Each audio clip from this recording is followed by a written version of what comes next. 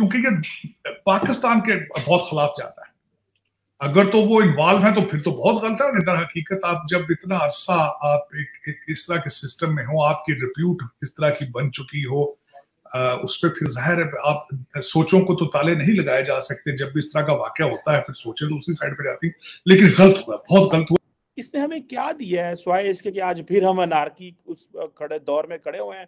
And we don't have a way out के ना ही दुनिया में हमारी कोई मदद करना चाह रहा है और ना ही हम उनके साथ खुद बैठ के कोई मसला हल कर सकते हैं। जिस तरह मैंने आपको अर्ज़ किया किसी के बाप होंगे किसी के भाई होंगे किसी के बेटे होंगे और गलत हुआ जो कुछ हुआ गलत हुआ ज़्यादा हुई इसकी वजह से पाकिस्तान को एक हैवी प्राइस अगले पाँच दस साल में पे करनी पड़ सकती है। अपने ही लोग हमें कहते हैं कि हम दहशत गर्द हैं। तो आप देखें जो हमारे हुक्मरान हमारे पे इल्ज़ाम यानी कि ये इस चीज़ को एडमिट करते हैं सारी उम्र का शिकोर लेके फिरते रहे हैं। कि पाकिस्तान की सूरत हाल में और गाना और श्रीलंका की सूरत हाल में आप सिमिलैरिटीज क्या देखते हैं? क्या अभी भी वो सिमिलैरिटीज स्टैंड करती हैं? लेकिन आज भी हम आटा दाल चीनी और इन चीज़ों में फंसे हुए हैं और आटे की कतारों में बटे हुए हैं। लेकिन पाकिस्तान के लिए भी नुकसान है? क्योंकि पाकिस्तान पे उंगलियाँ आएँगी इल्ज़ाम इल्ज़ाम आएँगे चीज़ें आएँगी। और मैं समझता हूँ कि उनको अच्छे तरीके से बताना चाहिए। हेलो फ्रेंड्स, जय हिंद। हिंदुस्तान स्पेशल में आपका स्वागत है दोस्तों। बड़ी दुखद खबर निकलकर सामने आई है कि जम्मू कश्मीर के पुंछ में गुरुवार को सेना के काफिले पर हुए आतंकी हमले में पाँच जवान शहीद हो गए। राजौरी सेक्टर और पुंछ के बीच आतंकियों ने खात लगाकर हमले को अंजाम दिया। पुंछ अटैक के हमलावरों की तलाश में सर्च ऑपरेशन तेज हो गया है। घटना स्थल पर पहुंचकर बम स्क्वाड और फॉरेंसिक टीम ने सबूत जुटाए। पुंछ आतंकी हमले की ज़िम्मेदारी पीएएफएफ ने ली है। पीएएफएफ जम्मू कश्मीर में एक्टिव आतंकी संगठन है। पाकिस्तान के आतंकी संगठन जैश ए मोहम्मद से जुड़ा हुआ है। इस हमले के बाद भारत और पाकिस्तान के बीच तनाव और बढ़ सकता है। पाकिस्तान मीडिया ये चर्चा कर रहा है कि ये आतंकी हमला हमारी अपनी ही गलती है।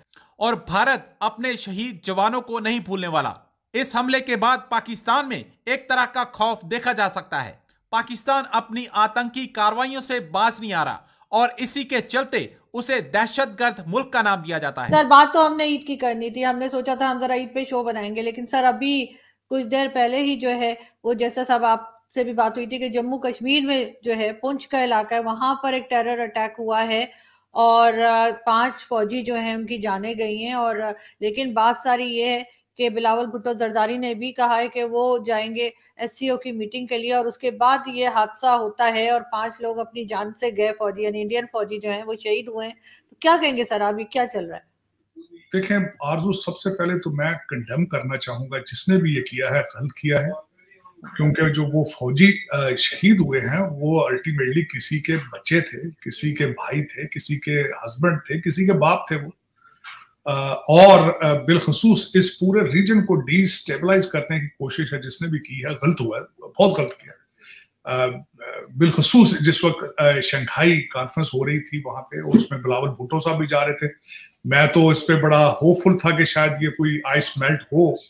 और हालात बेहतरी की तरफ़ जाए। लेकिन ये फिर मैं इसका ये ये इस रीजन के अंदर यही तो बदनसीबी है कि जो एलिमेंट है वो मैं समझता हूँ। लेकिन मैं एक ज़रूर रिक्वेस्ट करूँगा कि दोनों ममालिक, पाकिस्तान और भारत मिलके इस चीज़ की डेप्थ पर जाए इंटेलिजेंस शेयरिंग करें, क्योंकि ये पाकिस्तान के बहुत खिलाफ जाता है।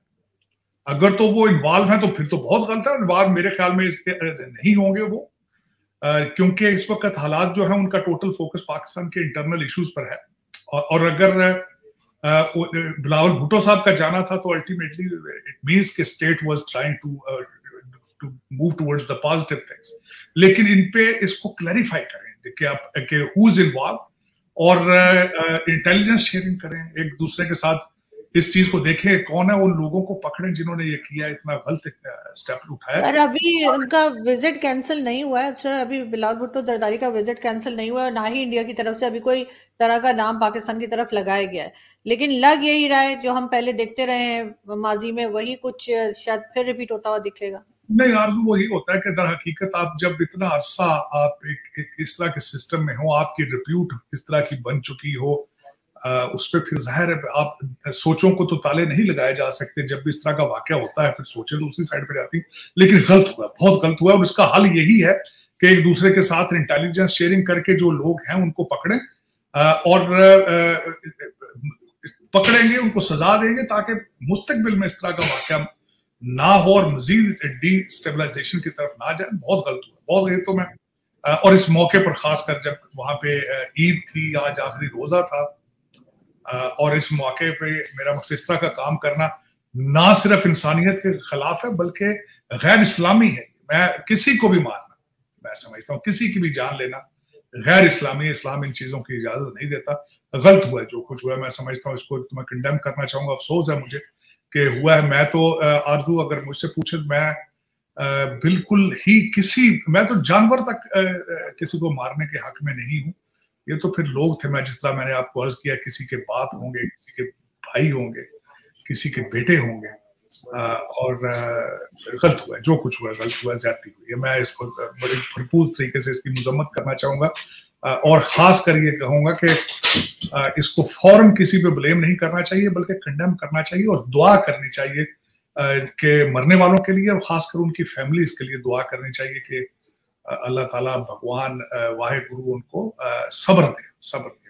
गलत हुआ जो कुछ लेकिन सर बिलावल भुट्टो जरदारी के जैसे ही फॉरेन ऑफ़िस की तरफ़ से बताया गया कि वो जा रहे हैं उस मीटिंग में एस की उसके फ़ौरन बाद एक ही दिन में हमने ये देखा कुछ ही घंटों में इस किस्म का हादसा। इतफाक है या आपको लग रहा है कि कुछ रोकने की कोशिश की जा रही है इस किस्म के देखिए मैं ये कई ऐसी कुवतें मौजूद होंगी आरज़ू जो ये नहीं चाहती कि दोनों ममालिक जो है वो करीब आए। अल्टीमेटली ये बड़े अरसे बाद हो रहा था। हालाँकि ये बिलावल भुट्टो साहब का जाना बड़ा एक मेरे ख्याल में पॉजिटिव एक, एक चीज़ थी। मैं तो बड़ा इस चीज़ पे पूरा उम्मीद था कि बड़ा अच्छा स्टेप लिया जा रहा है। लेकिन मेरे ख्याल में कुछ ऐसे पार्टियाँ ऐसी मौजूद हैं जो नहीं चाहते कि दोनों ममालिक जो हैं उनके दरमियान कोई अच्छे रवाबत हों। ये बिल्कुल आपका इशारा ठीक है आरज़ू इस तरफ़।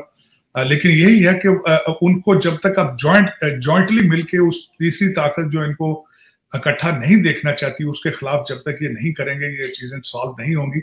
मैं तो हमेशा आपको पता है इस चीज़ पे फोकस करता हूँ कि पाकिस्तान के नेशनल इंटरेस्ट में है, भारत के साथ रिलेशनशिप बेहतर हो और भारत के लिए जो कि इस रीजन की उभरती हुई ताकत है, उसके लिए भी ज़रूरी है कि रीजन रीजनल रोल अदा करें। पाकिस्तान की सूरत हाल में और गाना और श्रीलंका की सूरत हाल में आप सिमिलैरिटीज क्या देखते हैं? क्या अभी भी वो सिमिलैरिटीज स्टैंड करती हैं? पिछले हफ़्ते की यूएई और सऊदीया वाली डेवलपमेंट्स के बाद?